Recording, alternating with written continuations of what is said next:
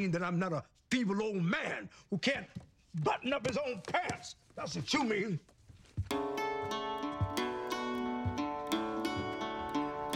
Can we talk for a minute? Yeah, sure. What's going on? Why are you avoiding me? What are, you, what, what are you talking about? Well, I thought we had a good time on our date, but now every time I go into a room, you leave. It's just a coincidence. You walked out of a ball game. There was a woman referee. I could no longer trust the outcome. Spencer, All right. Actually, I had a great time too. You're sweet, you're fun, you're sexy as hell. I know all this. Cut to the chase. The truth is, I haven't, you know, been with anybody else since my wife died.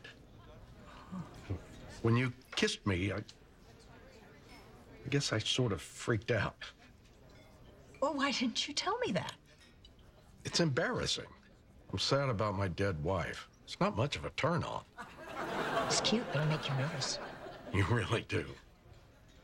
I was just wondering if maybe we couldn't slow it down a little bit. You mean like hand stuff?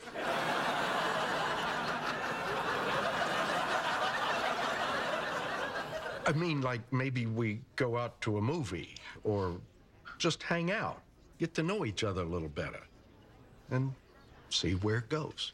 Hmm. That'd be nice. I hate that I'm turning myself into your gal pal. Hopefully, our periods don't start to sync up. I don't think that's going to be a problem for either of us.